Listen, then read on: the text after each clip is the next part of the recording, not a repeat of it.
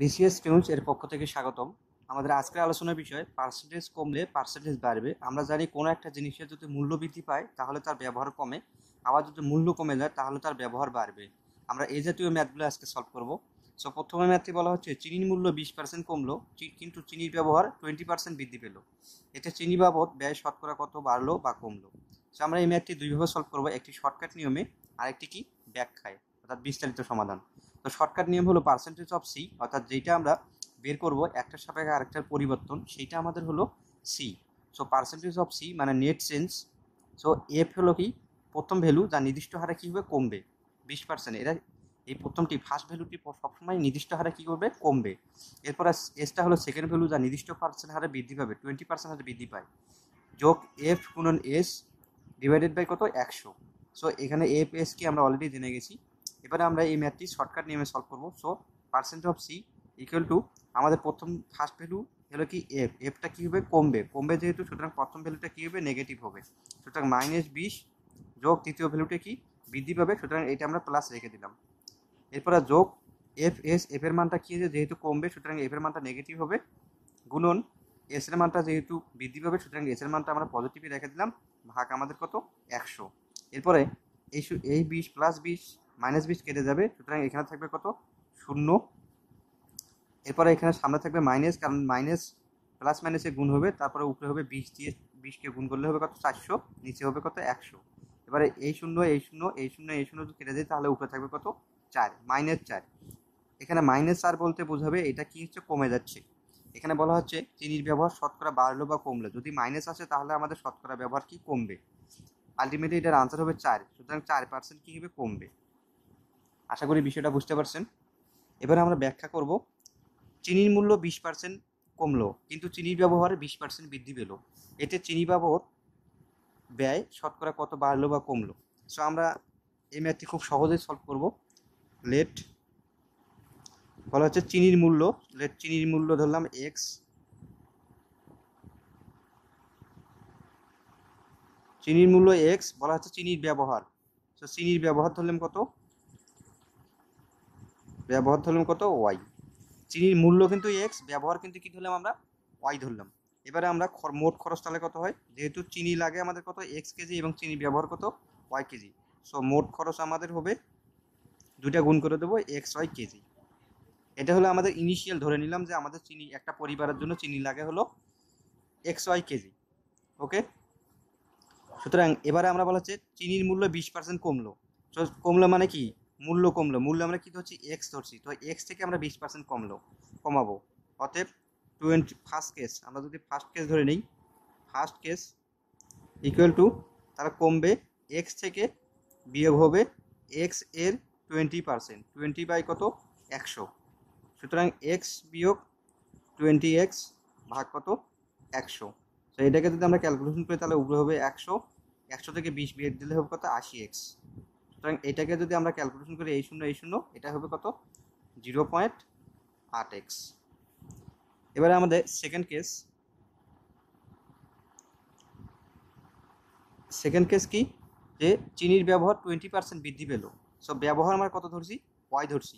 এখান থেকে আমাদের টোয়েন্টি পার্সেন্ট কি হিসেবে বৃদ্ধি পেয়েছে? তাহলে বৃদ্ধি মানে কি? প্লাস ওয়াই এর কত? টোয়েন্টি পার্সেন্ট বিশ বাই একশো। সুতরাং এইটাকে আমরা যদি ক্যালকুলেশন করি, তাহলে Y plus twenty Y plus কত? একশো। সুতরাং এটাই করলে আসবে কত? উপরে যদি আমরা যদি নিচে লসাও করি, তাহলে একশো বিশ ওয়াই ভাগ কত? একশো। এটাকে যদি আমরা এই শূন্য এই শূন্য কেটে দিই, তাহলে আসবে ওয়ান পয়েন্ট এক পয়েন্ট দুই ওয়াই।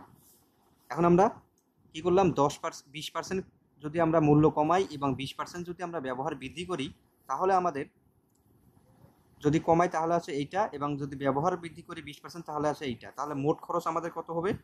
জাস্ট এইটা কী করে দেবো? গুণ করে দেবো। মোট খরচ ইকুয়াল টু জিরো পয়েন্ট আট এক্স গুণন ওয়ান পয়েন্ট টু ওয়াই সমান আসবে পয়েন্ট নাইন সিক্স বা নয় ছয় এক্স ওয়াই দুইটা যেহেতু এক্স ওয়াই আছে, সুতরাং আগে আমরা কত ধরেছিলাম? এক্স ওয়াই ধরেছিলাম। এবারে আমরা এখানে কিন্তু এক্স ওয়াই মানে ওয়ান এক্স ওয়াই কিন্তু এখানে কিন্তু পয়েন্ট ওয়ান নেই, তার মানে কমে গেছে। যদি এইটার থেকে এইটা কমে যায়, তাহলে বুঝতে হবে সেটা কি কমবে। আর যদি এইটার থেকে এইটা যদি বেড়ে যায় ক্যালকুলেশন করার পর, বৃদ্ধি করার পর যদি এটা বেড়ে যায়, তাহলে বুঝতে হবে বাড়বে। ঠিক আছে? দেন আমরা এখন মোট খরচ কি করব? খরচ কমে খরচ কমে, আমরা এক্স ওয়াই থেকে বিয়োগ দেবো এইটা। বিয়োগ পয়েন্ট নয় ছয় এক্স ওয়াই সুতরাং এটা থেকে যদি আমরা বিয়োগ দিই, তাহলে জিরো পয়েন্ট জিরো চার এক্স ওয়াই শতকরা, আমরা যেহেতু চাইছে যে শতকরা কত কমলো বা বাড়লো, সুতরাং শতকরা, আমরা জানি কমলো কারণ এক্স ওয়াই ছিল এক্স ওয়াই থেকে একের থেকে কমে গেছে, সুতরাং কমছে, সুতরাং শতকরা কমলো। তাহলে আমরা জানি যে এইরকম যদি ডেসিমাল সংখ্যাকে যদি আমরা শতকরা বানাই, তাহলে পয়েন্টটাকে আমরা কি করতে হবে? দুই ঘর পিছিয়ে নিয়ে যেতে হবে। সুতরাং পয়েন্টটাকে চারের পরে আসবে, চারের পরে পয়েন্ট দেয়া না দেয়া একই কথা শুনুন চার।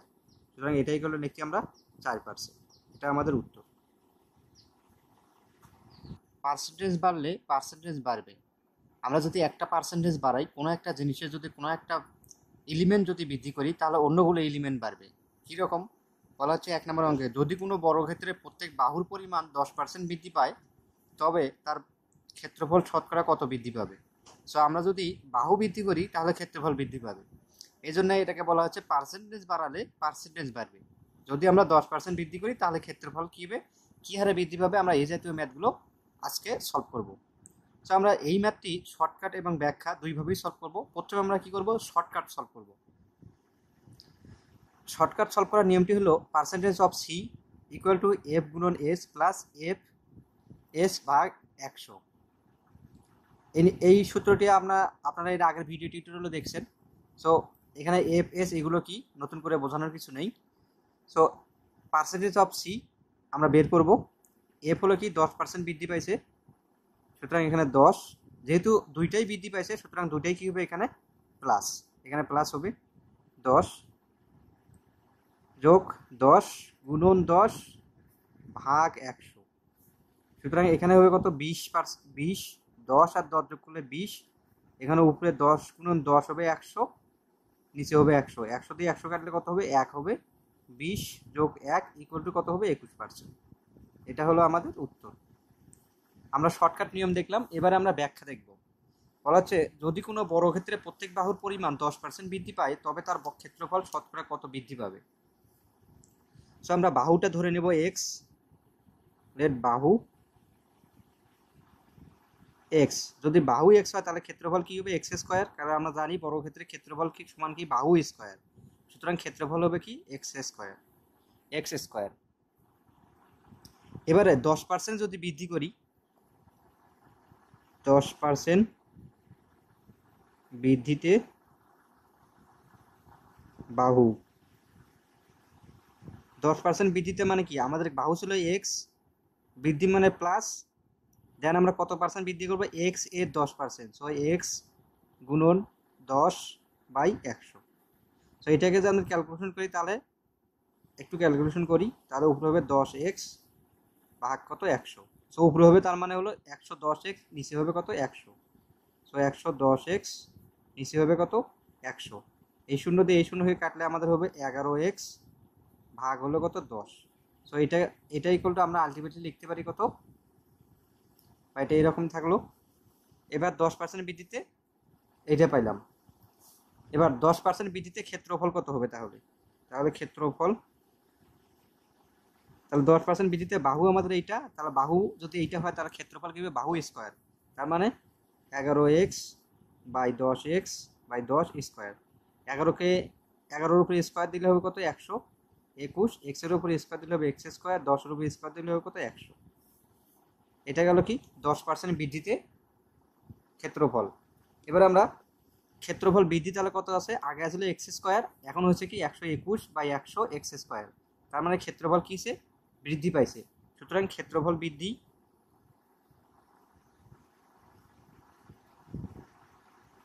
ক্ষেত্রফল বৃদ্ধি কিন্তু এইটা থেকে আমরা কি করব? এটা বিয়োগ দিব। সো একশো একুশ এক্স স্কোয়ার বাই একশো বিয়োগ এক্স স্কোয়ার। তো এটাকে যদি আমরা ক্যালকুলেশন করি, তাহলে আলটিমেটলি আমাদের আসবে কত? এখানে হবে একশো একশো একুশ এক্স স্কোয়ারের মধ্যে থেকে একশো এক্স স্কোয়ার বাদ দিলে হবে শুধু একুশ এক্স স্কোয়ারের উপরে থাকবে, আর নিচে থাকবে কত? একশো। এটা গেল কি? ক্ষেত্রফল বৃদ্ধি। আমাদের দশ পার্সেন্ট বৃদ্ধিতে ক্ষেত্রফল বৃদ্ধি হলো কতটুকু? এতটুকু। সুতরাং বলা আছে শতকরা কতটুকু বৃদ্ধি পাবে? সুতরাং এটার এখন কি করবে? এটাকে জাস্ট শতকরা রূপান্তরিত করতে হবে। সো আমরা এটাকে যদি শতকরা রূপান্তরিত করতে পারি, সুতরাং শতকরা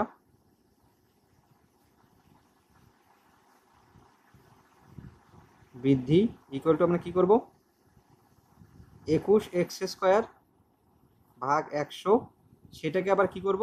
একশো দিয়ে ভাগ করব। সুতরাং এই একশো একশো ক্যান্সেল সুতরাং থাকবে কি একুশ এক্স স্কোয়ার একুশ এক্স স্কোয়ার মানে কি? আগের ক্ষেত্রফলের কত পার্সেন্ট একুশ পার্সেন্ট সুতরাং একুশ পার্সেন্ট এটা হলো আমাদের উত্তর।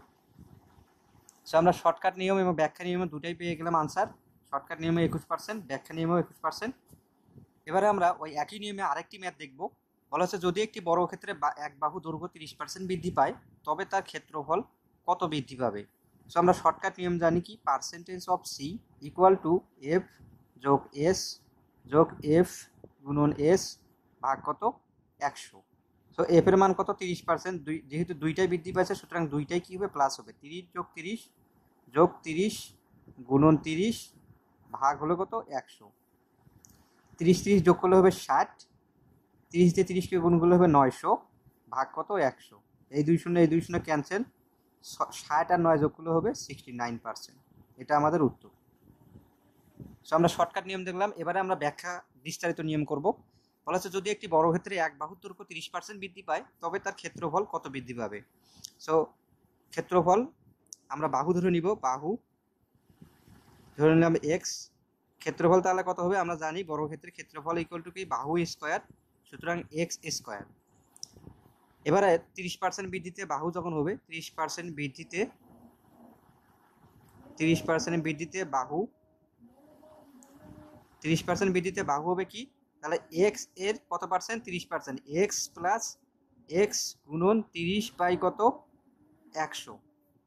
ঠিক আছে? দেন আমরা যদি এটাকে ক্যালকুলেশন করি, তাহলে উপরে হবে তিরিশ এক্স নিচে হবে কত? একশো। সুতরাং উপরে যদি এটাকে লসাগু করি, তাহলে হবে একশো তিরিশ এক্স ভাগ একশো। এবারে আমরা তিরিশ পার্সেন্ট বৃদ্ধিতে বাহু হলো এটা এখন তিরিশ পার্সেন্ট বৃদ্ধিতে ক্ষেত্রফল কত হবে? ক্ষেত্রফল জাস্ট কি করব? এইটার উপরে স্কোয়ার করে দেবো। এবারে যদি এই শূন্য এই শূন্য কেটে দিই, তাহলে উপরে হবে তেরো। এক্স নিচে হবে কত দশ। আমরা জানি ক্ষেত্রফল ইকুয়াল টু কত? বাহু স্কোয়ার সুতরাং তেরোকে স্কোয়ার করলে হবে একশো উনসত্তর এক্স স্কোয়ার নিচে হবে কত? দশকে স্কোয়ার করলে হবে একশো। ক্ষেত্রফল এটা বাড়ালো। এবারে ক্ষেত্রফল বৃদ্ধি। আমাদের ক্ষেত্রফল ছিল এক্স স্কোয়ার এরপরে তিরিশ পার্সেন্ট বৃদ্ধিতে ক্ষেত্রফল হয়েছে এইটা। তাহলে ক্ষেত্রফল বৃদ্ধি কত হবে? বৃদ্ধি টু এইটা থেকে আমরা এটা বিয়োগ দেব। One six nine X square ভাগ কত? একশো বিয়োগ কি? X square. সো এটাকে যদি আমরা লসাগু করি, তাহলে হবে কত? একশো উনসত্তর থেকে এখানে একশো এক্স স্কোয়ার বাদ দিলে হবে উনসত্তর এক্স স্কোয়ার ভাগ কত? একশো। এটা হলো আমাদের কি? বাহু বৃদ্ধি ক্ষেত্রফল বৃদ্ধি। ঠিক আছে? এবারে আমরা যদি বলা হচ্ছে শতকরা কত বৃদ্ধি পাবে, তবে তার পার্সেন্টেজ কত বৃদ্ধি পাবে? যে শতকরা বৃদ্ধি আমরা যদি বের করতে চাই, শতকরা বৃদ্ধি ইকুয়াল টু কী করবে? এটাকে জাস্ট একশো দিয়ে ভাগ করব। Sixty nine X square by একশো ভাগ কত? একশো। এই একশো এই একশো ক্যান্সেল থাকবে কত? সিক্সটি নাইন এক্স স্কোয়ার মানে হলো আগের ক্ষেত্রফলের সিক্সটি নাইন পার্সেন্ট সুতরাং সিক্সটি নাইন পার্সেন্ট